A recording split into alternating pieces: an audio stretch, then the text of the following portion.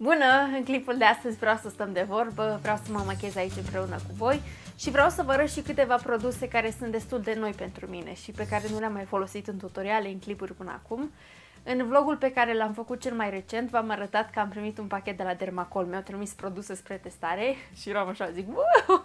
am primit și eu produse spre testare și am primit comentarii la clipul acela în care îmi cereați să fac un clip în care să vă arăt cum arată produsele Dermacol, ce produse am despre ele cele mai multe întrebări au fost legate de acest fond de ten, de fondul de ten cu cea mai mare acoperire, cel make-up cover și, na, să vă zic, am mai filmat un Get Ready With Me acum câteva zile, făcusem o primă impresie a acestui fond de ten, n-a ieșit clipul ăla, mi-a ieșit lumina varză, era buf, mult prea intensă, după aia se mai întuneca pentru că am filmat la lumină naturală. am zis că hai că o să iasă, dar n-a ieșit.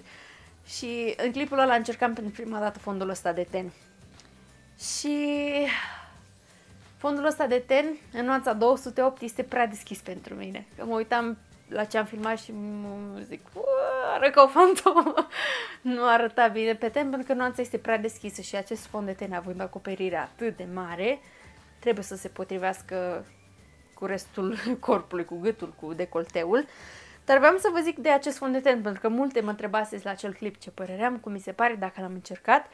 L-am încercat odată, adică l-am purtat toată ziua și pot să zic că a rezistat binișor pe tenul meu. Nu s-a, nu s-a întins, nu s-a șters, dar vreau să vă zic că acest fond de ten nu este făcut pentru a fi folosit zilnic. Este făcut pentru ocazii speciale, pentru filmări, pentru ședințe foto, nunți, atunci când ai nevoie să-ți arate tenul așa flawless, să arate fără nicio imperfecțiune, atunci folosești acest fond de ten, dar așa pentru machiajul de zi cu zi nu este indicat. Chiar am primit atunci în pachetul Dermacol și acest pliant în care spun mai multe despre acest fond de ten și spun că este făcut pentru a acoperi tatuaje, că este folosit la Hollywood, pentru imperfecțiuni, pentru machiaj de scenă dar nu este făcut pentru uz zilnic. Și tot pe pliantul ăsta arată cum poți să recunoști originalul.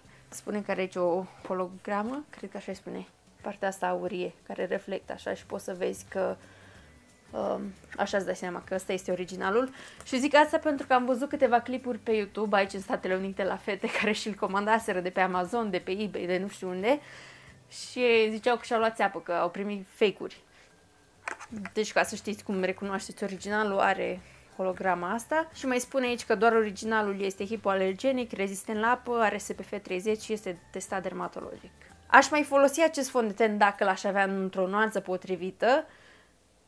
L-aș folosi când? Dacă ar trebui să merg în oraș seara la o date night cu Brad, dacă aș vrea să filmez într-o zi și vreau să arăt așa, să-mi arate tenul impecabil, fără nicio imperfecțiune, da, l-aș mai folosi, dar așa ca să mă dau zilnic cu el, nu, pentru că nici nu este menit pentru asta, nu pentru asta a fost făcut acest fond de ten. Haideți să începem machiajul și voi începe cu această bază de machiaj de la Dermacol. Se cheamă Satin Makeup Base, vine într-o sticluță de 15 ml. Uh, lasă tenul foarte catifelat, foarte fin și mătăsos pentru că este o bază de fond de ten din aceea siliconată într-un fel dacă ați încercat până acum primerul de la Smashbox, mi se pare foarte asemănător acest primer cu acela.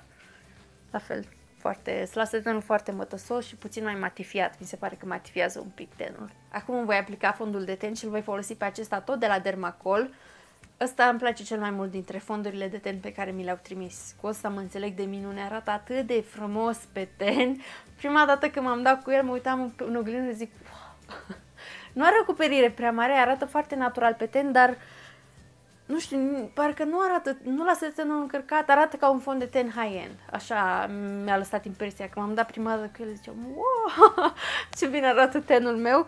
Mie mi l-au trimis în nuanța 1, pale, și mi se potrivea nuanța, dar în ultimele zile parcă m-a prins un pic de tot soarele și acum parcă e puțin, puțin de tot prea deschis. Și mi-am adus aminte mi-am adus aminte că mi-au trimis și o mostră în nuanța 2. Am folosit-o odată deja. Nu știu dacă mai am aici produs, dar să vedem. Hai să vedem. dacă ajunge o mostră pentru două utilizări. Cred că nu. Dar nuanța 2 acum mi se potrivește perfect. E așa, e borderline, puțin aproape închis, dar nu chiar. Dar nu o să-mi ajungă pentru toată fața. O să încerc să scot aici tot ce mai am. Hai că poate, poate. Poate dacă îl întind bine cu pensula, pentru că așa îl voi întinde cu pensula, o să se întindă pe toată fața. Și am mai încercat o mostră din cele pe care mi le-au trimis. Din nou, dacă n-ați văzut vlogul ăla, voi lăsa un link să-l vedeți, că vă arăt acolo tot ce mi-au trimis în pachet. Și am mai încercat o mostră de fond de ten. Aceasta este mostra. Este fondul de ten 24 Hour Control Makeup Long Lasting cu coenzima Q10. Superb, superb arăta fondul ăsta de ten pe față, numai că la, e, la, e nuanța prea închisă, este nuanța 2, dar nu contează, mă dădusem cu el, așa m-am dat și pe gât. Mi-a plăcut la nebunie finish-ul acestui fond de ten. Este genul acela mai uh, rezistent la transfer. Este foarte asemănător cu... Mm, asemănător, dar nu chiar, ca Revlon Color Stay. Are așa o textură din aia așa mai rezistentă la transfer, care stă locului fondul de ten. Dar arată super, super frumos pe față ăsta. Dacă aveți tenul gras, ăla e un fond de ten bun. Și fondul de ten cu care mă dau acum, acesta Caviar Long Stay, uh, rezistă foarte bine pe tenul gras. Cred că este bun pentru ten normal, ten mixt, chiar și gras. Pentru ten uscat nu știu. Nu știu dacă ar scoate în evidență părțile cu părțile uscate de ten, pentru că nu am ten uscat și nu pot să bag mâna în foc, n-ar evidenția zonele uscate. Dar pe ten mixt, normal, gras, arată superb. Singurul dezavantaj la acest fond de ten este că vine doar în patru nuanțe, cred. Și aici e partea mai grea să găsești o nuanță care se potrivește. Aici în frunte mi-am făcut singură tâmpenia asta aici. Mi s-a părut mie că aveam un punct negru și încerc eu să storc, încerc o dată, văd că nu iese nimic. Mai încerc o dată, văd că nu iese nimic. și nu m-am lăsat până când n-am scos punctul la negru și asta am acum în frunte. Nu știu care e problema mea. Mereu când văd câte ceva, o chichiță mică acolo, zic, oh, oh, hai că o să iasă. Și văd că nu iese, mai încerc o dată și încă o dată, dar nu mă las până când nu iese, deși îmi fac tenul de 10.000 de ori mai, mai rău și chestia de 10.000 de ori mai urâtă pentru că de multe ori dacă lași chestia în pace nu se vede, nu o vede nimeni, dar am aici o porțiune mică unde am pielea uscată și voi încerca să mă apropii cât de tare pot eu de cameră ca să vedeți cum arată pe pielea uscată, dacă accentuează pielea uscată sau nu. Nu mi se pare că scoate în evidență zona asta prea tare, dar o să mă apropii de cameră să vedeți cât de frumos arată de aproape. Sper să se vadă. Nu știu dacă se vede pe cameră zona asta aici unde am pielea uscată de care vă ziceam. Nu mi se pare că o scoate în evidență, se vede dacă te uiți de aproape, dar nu mi se pare că o accentuează. Pe aici n-am aplicat prea mult fond de ten, aici am cicatricile rămase de la coșuri. Și ați văzut că am aplicat un straf foarte, foarte subțire și l-am atins bine, bine, bine de tot cu pensula. Nu știu, sper că se vede pe cameră ceea ce vreau să zic. Pentru că vreau să vă arăt cât de frumos arată fondul ăsta de ten. Nu lasă tenul încărcat deloc, îl uniformizează așa puțin și... Ah, e superb. Dacă aplici o cantitate puțin mai mare, acoperă și mai bine, mai ales dacă îl aplici cu burețelul așa prin tapotare, acoperă mai bine și termin îmi place așa. Sper că s-a văzut pe cameră cum am vrut eu să vă arăt tenul meu de aproape și cum arată de aproape. Sper să nu arate îngrozitor pe cameră. În realitate vă promit că arată foarte bine. Am mai luat puțin fond de ten acolo ce am mai putut să găsesc din mostră ca să-mi acopăr minunăția asta dintre sprâncene. Acum voi trece la anticearcăn și îl voi aplica pe acesta de la L'Oreal True Match. Nu este nou, l-am de ceva timp, chiar e pe terminate. Trebuie să-l amestec puțin ca să, să mai am ce am acolo. Este nuanța N123. Am ales să folosesc anticearcănul ăsta pentru că e puțin mai închis decât celelalte anticearcăne pe care le am eu.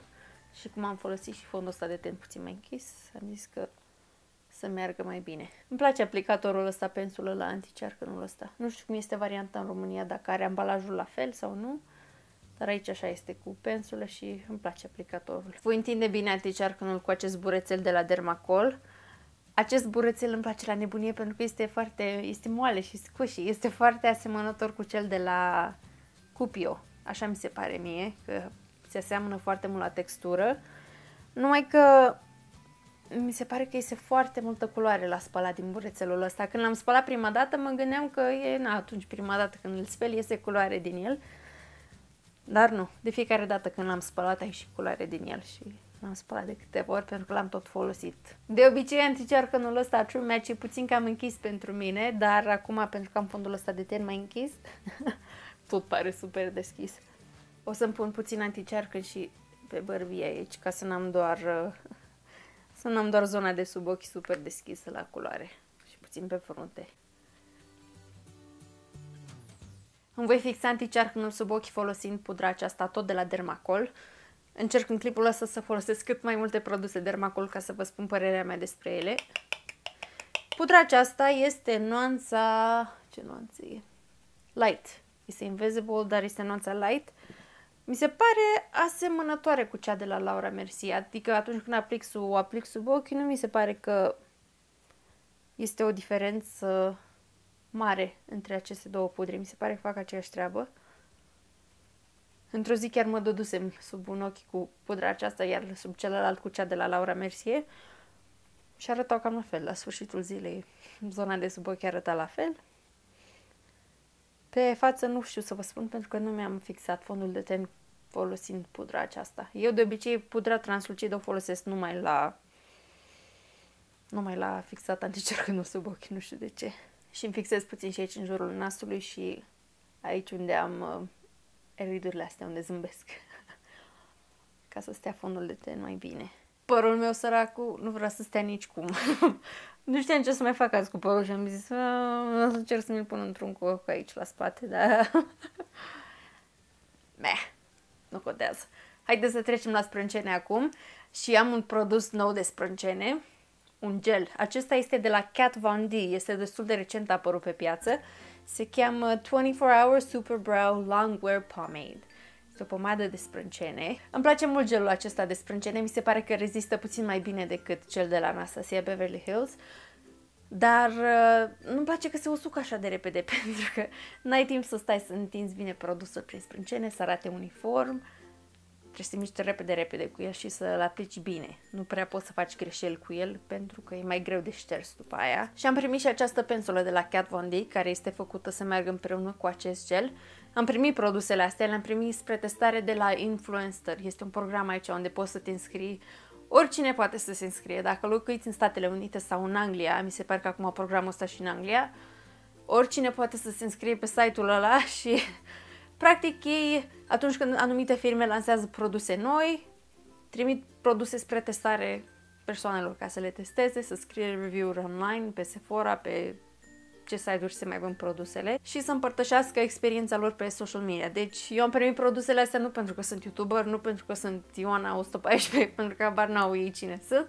Mi-au trimis produsele astea pentru că m-am înscris și eu acolo ca să zic, poate așa mai primești și o chestie spre testare și mi-au trimis produsele astea cel mai recent. V-am zis, dacă locuiți în Statele Unite și aveți un cont de Instagram, înscrieți-vă acolo. V-am zis, nu trebuie să aveți, poți să ai și 10 urmăritori, 100 de followers, nu trebuie să ai un anumit număr de followers pe Instagram sau mai știu unde, nu trebuie să fii YouTuber, nu trebuie să fii nimic. Că uneori mai trimit produse de mâncare, produse de casă, pulsaj de you know, chestii, chestii din astea total random, dar au și chestii de machiaj câteodată și le trimis spre testare. Și da, asta e treaba cu produsele astea, așa le-am primit. Vă ziceam că se usucă repede, sunt aproape sigură că produsul ăsta pe care l-am aplicat pe mână o să se usuce înainte să apuc eu să-mi termin sprâncenele.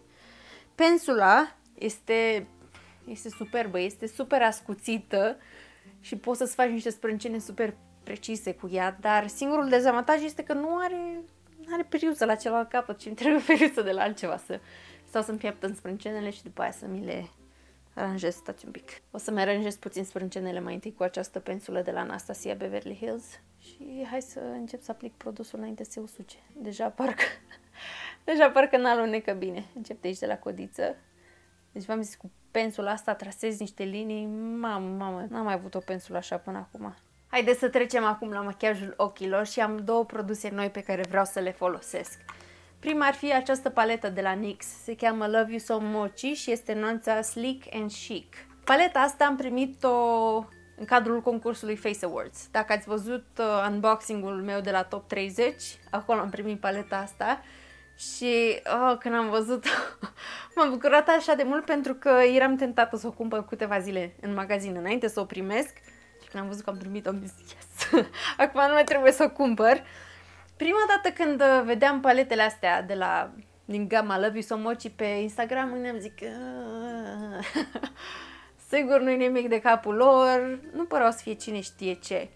Dar după aia am văzut o fată pe care o urmăresc pe Instagram de aici din Statele Unite că zicea de, vorbea de paleta asta și zicea cât e de frumoasă și se machează în ziua respectivă cu ea și când m-am uitat la ochii zic ok, chiar vreau paleta asta și îmi place la nebunie. Au o textură foarte interesantă fardurile astea, sunt foarte asemănătoare cu cele de la Colourpop Super Shock, dacă le-ați încercat. Zici că sunt cremă, dar nu sunt cremă, se simt așa foarte cremoase și umede un pic când le atingi. Toate fardurile din paletă sunt sidefate în afară de acesta și sunt superbe. Vreau să folosesc paleta asta, dar va trebui să mai incorporez ceva, că vreau ceva mat în pliu. nu vreau să-mi pun ceva sclipicios în pliu. Și mai am și fardul acesta de la Colourpop, că tot vă ziceam de fardul Colourpop, l-am cumpărat recent și este nuanța Sailor. Nu pare el cine știe ce, culoarea nu este prea intensă, este foarte asemănătoare cu culoarea pielii mele această culoare, dar are, se vede? Nu știu, se vede? are prin el un sclipici atât de frumos, așa albastru, cred. Oh, arată superb, superb. Și nu știu, vreau să folosesc un fard de aici și peste să pun fardul acesta sclipicios, să vedem ce mi iese. Hai să iau un fard mat din paleta aceasta, Ultimate Palette în Warm Neutrals, dacă tot o am aici. Cred că voi aplica nuanța aceasta în pliu. Asta e nuanța cea mai folosită de mine din paletă, cred că se vede. Și că tot vorbeam de Face Awards și de NYX, voiam să, voiam să mai lămuresc o dată treburile, pentru că am văzut că încă încă mai este lume nedumerită care nu înțelege care-i treaba cu clipurile în engleză. Sunt oameni, unii oameni supărați și înțeleg într-un fel, dar mi-am dat seama că, ok, n-am făcut un clip în care să vă explic exact care-i treaba cu clipurile în engleză, dar uh, am fost surprinsă să văd că au fost persoane care au zis că, că ai trecut pe engleză, că ce, de ce nu mai faci clipuri în română? Am mai făcut clipuri în română, doar că le-am făcut pe cele în engleză pentru concursul Face Awards. Deci, deci, deci începem cu deci. Haideți să vă zic care e treaba cu concursul Face Awards. În fiecare an, NYX și anumiți sponsori organizează concursul Face Awards, la care oricine poate să se înscrie, oricine din Statele Unite și din Canada. Aici, pe zona asta, că sunt mai multe țări din lume în care se organizează acest concurs, inclusiv în România. Și anul acesta m-am înscris cu machiajul acela cu reptilă, probabil l-ați văzut, sper că l-ați văzut. Și am fost aleasă să intru în competiție, am fost aleasă să fac parte din top 30. nu știu dacă mă urmăriți pe Instagram, dar când m-au sunat cei de la Next și mi-au zis, plângeam și țipam ca nebuna pe aici prin casă, că nu venea să cred că am intrat în competiție din atâtea mii de înscrieri din Statele Unite și Canada. Uh, și după aia, după ce intri în top 30, îți trimit o cutie cu machiaj și uh, alte chestii din partea sponsorilor. Ala a fost uh, top 30 unboxing, dacă nu l-ați văzut deja și îmi scuzați telefonul, dar el este mai departe, l-a încărcat și nu vreau, nu vreau să mă ridic acum să-l opresc. Ei trimit produsele alea pentru că ești în competiție și vor să-ți trimită machiaj ca să ai ce să folosești pentru prima provocare, pentru prima temă. Și sper că ați văzut și prima temă pe care am făcut-o, clipul pentru The Power of Makeup, aia a fost prima temă care ni s-a dat. Fiecare a trebuit să creeze un clip cu interpretarea lui pe această temă. Apoi publicul votează dintre cele 30 de clipuri, votează pe cine vrea să meargă mai departe. Și urmează următoarea etapă, sunt top 20. S-a votat de pe 18 mai până pe 24, tocmai s-au închis recent voturile și pe 29 mai aflăm care sunt cei 20 care merg mai departe. Iar după ce se anunță cei top 20, iarăși se va da o temă, o provocare și cei top 20 trebuie să facă un clip pe tema respectivă. Iar va vota publicul și tot așa până se ajunge la top 6. Top 6 sunt finaliștii care merg în Los Angeles unde vor filma acolo tema finală. Și apropo de voturi, voiam să vă mulțumesc din suflet tuturor celor care m-ați votat în fiecare zi. Am fost așa, am și plâns pe Instagram, surpriză, surpriză, eu plâng ceasa lumii. Am fost așa foarte copleșită de toată bunătatea pe care mi-ați arătat-o și de tot sprijinul pe care mi l-ați arătat, că m-ați votat, că îmi țineați pumnii, că mă, mă susține să merg mai departe. V-am zis că în momentul de față nu știu dacă merg mai departe sau nu, dar am fost m-am simțit așa de copleșită pentru că am văzut cât de buni sunteți cu mine și m-am, m-ați făcut să mă simt foarte iubită și apreciată și vă mulțumesc din suflet că v-ați luat de timp să mă votați, că le-ați zis prietenilor, că le-ați zis părinților, surorilor, că ați zis tuturor să mă voteze. Nu știți cât de mult înseamnă pentru mine și Dacă merg mai departe, sper să fiți în continuare alături, să mă votați, să mă susțineți, pentru că ar însemna enorm, enorm pentru mine. Și asta e treaba cu clipurile în engleză. Clipurile în engleză sunt în engleză pentru că sunt parte din competiția Face Awards care are loc aici în America, în Statele Unite.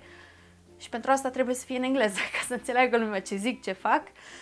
Și da, nu, am nu mi-am schimbat canalul pe engleză, n-am trecut pe una pe alta, pentru că v-am am văzut că sunt oameni, au fost oameni foarte supărați sau și dezabonați, au zis că, că acum ești așa și pe dincolo. Nu, este vorba doar de acel, acel concurs. O să iau acum această nuanță care este puțin de tot mai închisă, vreau să mai închid puțin zona de aici de, din pliu.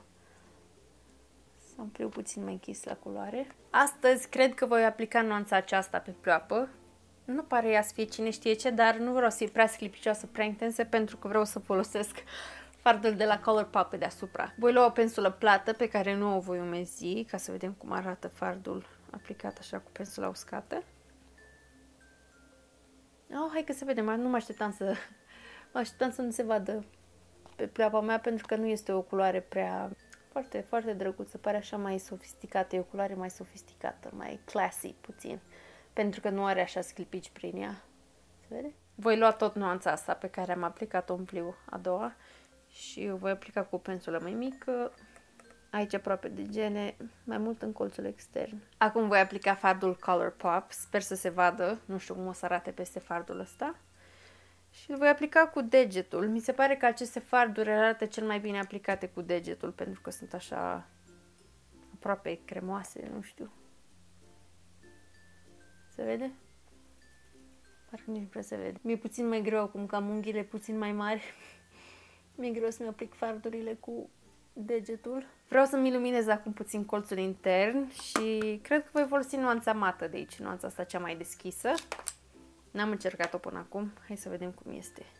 Nu credeam că o să se vadă așa de intens, dar se vede.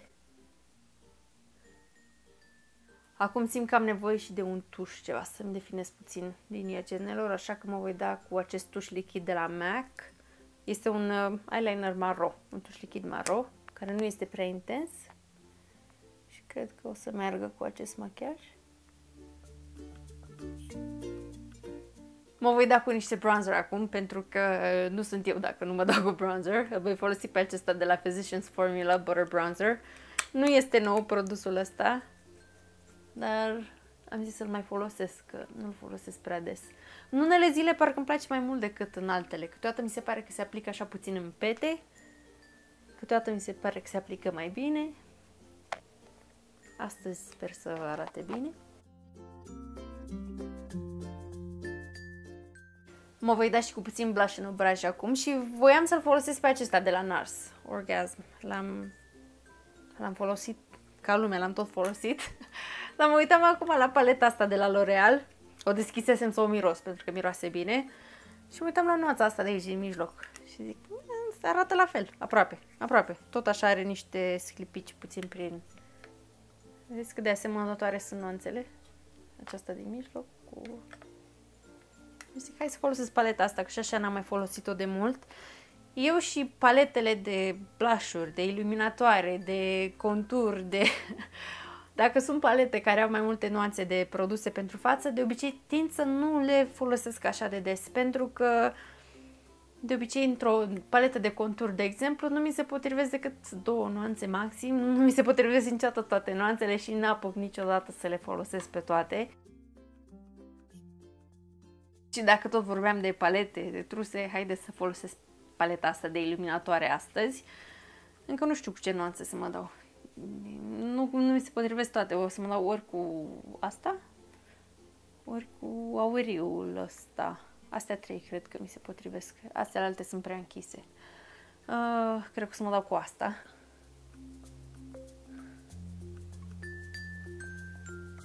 Se vede? Se vede? Machiajul e aproape gata. Mi-au rămas doar buzele și știți cu ce m-aș fi dat acum? M-aș fi dat cu glossul de la Fenty Beauty, Gloss Bomb. Cu asta m-aș fi dat pentru că mi-am cumpărat recent glossul ăla. Uh, și îl port într-una, dar l-am lăsat în geantă, în rucsacul pe care îl port eu de obicei, în care am și scutece și rețele umede și tot acămul. Și Brad a plecat cu băieții mai devreme și a luat rucsacul, pentru că aveam tot ce trebuie acolo. Și a plecat cu glosul meu, așa că n-am glosul ăla să mă dau. Hai să găsim ceva nou. Mă voi da cu un ruj lichid mat, un soft matte lip cream și am ales nuanțele astea trei, dar nu știu care dintre ele să mă dau. Asta cea mai închisă este Los Angeles, asta este Tres Leches și asta este Cape Town.